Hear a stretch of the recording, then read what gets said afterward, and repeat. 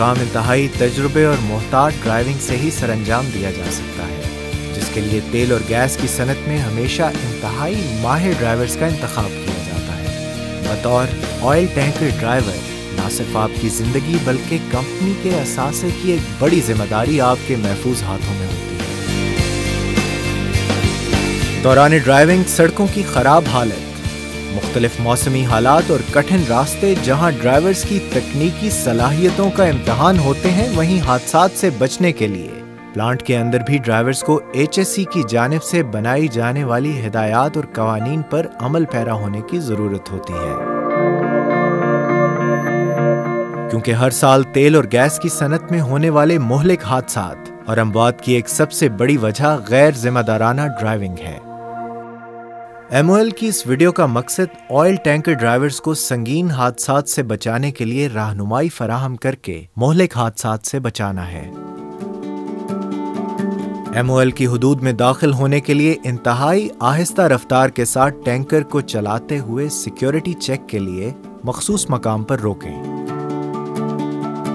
تمام ڈرائیور حضرات کے پاس درست، مستند ہیوی ڈیوٹی ڈرائیونگ لائسنس سمیت registration book permit route permit explosive licence اور ڈپ چارٹ کے ساتھ اس کی موجودہ ٹریننگ اور میڈیکل کا ریکارڈ موجود ہونا ضروری ہے۔ سیکیورٹی چیک کے دوران سیکیورٹی سٹاف سے مکمل تعاون کریں اور ان کی ہدایات پر عمل کریں۔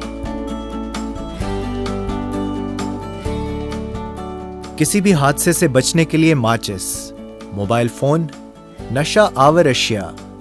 آتشگیر مادہ اور ہتھیار جیسے کسی عنصر کو پلانٹ میں لانے کی اجازت نہیں۔ سیکیورٹی چیک اور انسپیکشن کے ان تمام اقدامات کا مقصد آپ کی اور ایم او ایل کے عملے کی سیکیورٹی کو یقینی بنائے رکھنا ہے۔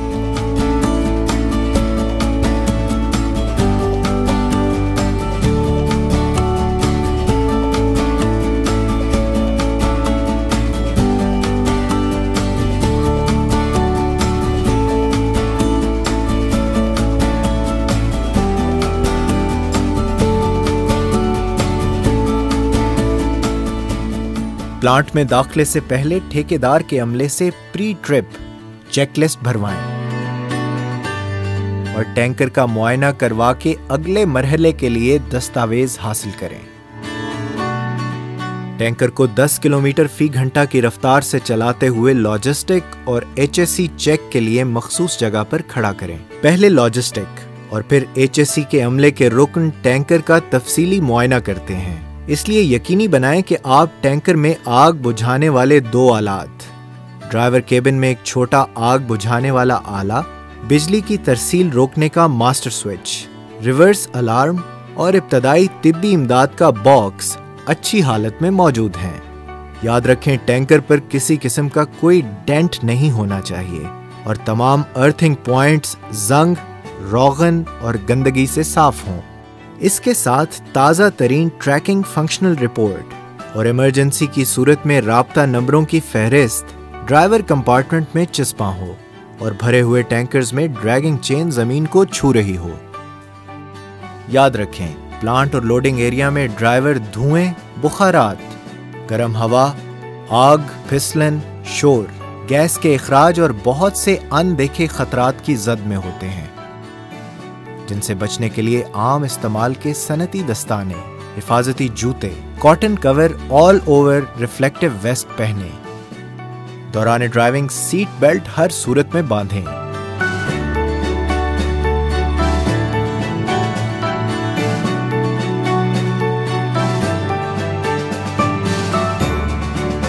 ایچ ایس سی اور لاجسٹک عملہ کی جانب سے ٹینکر کو استعمال کے قابل قرار دیے جانے کے بعد اپنی باری پر ٹینکر کو لوڈنگ بے کی جانب لے جائیں۔ لوڈنگ کے لیے جاتے ہوئے اور واپسی پر ٹینکر کا وزن لازمی کروائیں۔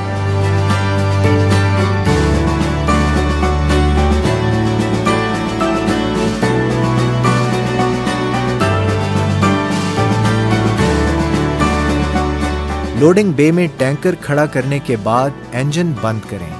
ویل کی حفاظتی رکاوٹیں اپنی جگہ پر رکھیں اور خود مناسب فاصلے پر چلے جائیں اور کسی بھی قسم کے دھاتی آلے کا استعمال نہ کریں۔ ٹینکر پر چڑھنے کی صورت میں حفاظتی بیلٹ کا استعمال لازمی کریں۔ ایم او ایل کی حدود میں کسی بھی خطرے، ہنگامی حالت یا آگ لگنے کی صورت میں الارم بجائے جاتے ہیں۔ الارم کو سنتے ہی تیزی سے قریبی اسمبلی ایریا کی طرف جائیں اور وہاں مزید ہدایات ملنے کا انتظار کریں۔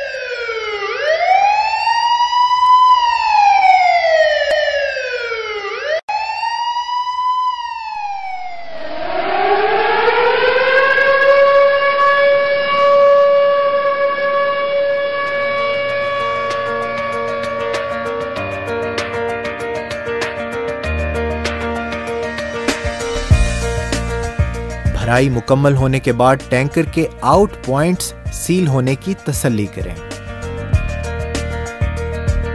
ایم او ایل کی حدود سے نکلنا اس بات کا غماز ہے کہ آپ کے سفر کا ایک مرحلہ با احسن سر انجام پا چکا ہے۔ دوران ڈرائیونگ بارش، دھند یک طرفہ سڑک، متبادل راستہ یا غیر ہموار سڑک دشوار گزار راستے چڑھائی، اترائی اور سڑک پار کرنے والے عناصر کا خیال رکھیں۔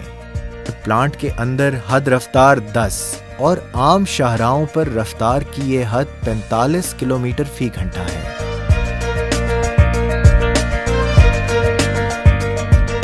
ایم او ایل نے اپنے ڈرائیور حضرات کے لیے مخصوص قیام گاہیں متعین کی ہیں۔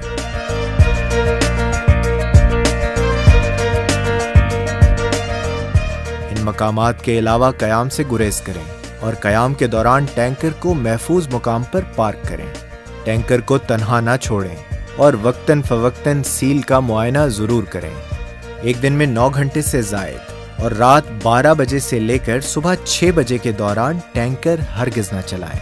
ہر ٹینکر میں ایک ٹریکنگ سسٹم نصب ہوتا ہے، جو کہ آپ کے مخصوص قیام و توام بریک لگانے، حد رفتار، سفر کا دورانیہ آپ کے روٹ اور سیٹ بیلٹ کے متعلق معلومات سسٹم کو فراہم کرتا ہے۔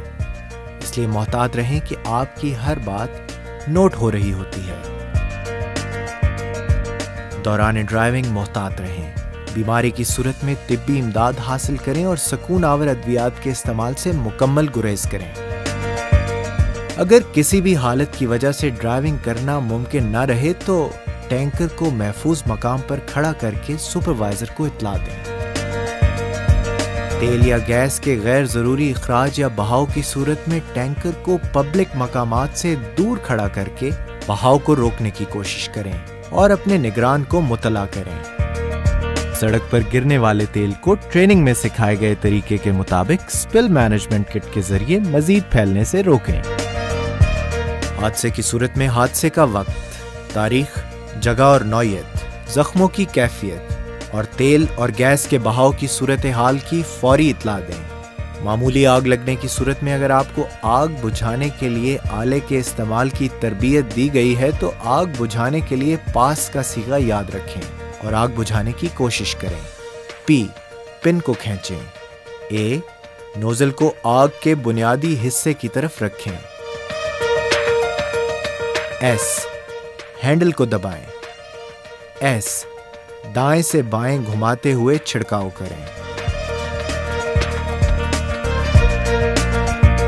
آپ کی زندگی آپ کے اپنے ہاتھوں اور آپ کے اپنے محفوظ فیصلوں میں ہے۔ احتیاط کریں، محفوظ رہیں۔